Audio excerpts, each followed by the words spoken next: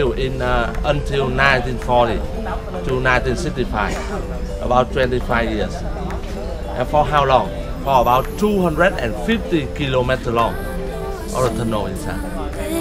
Should have quit this long ago.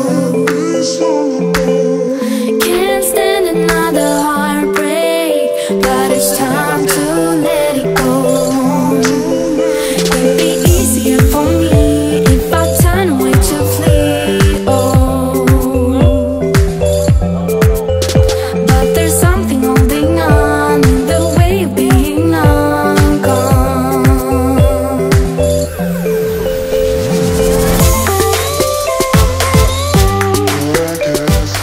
100,000 Vietnamese soldiers live inside the tunnel. That's the reason why need many air.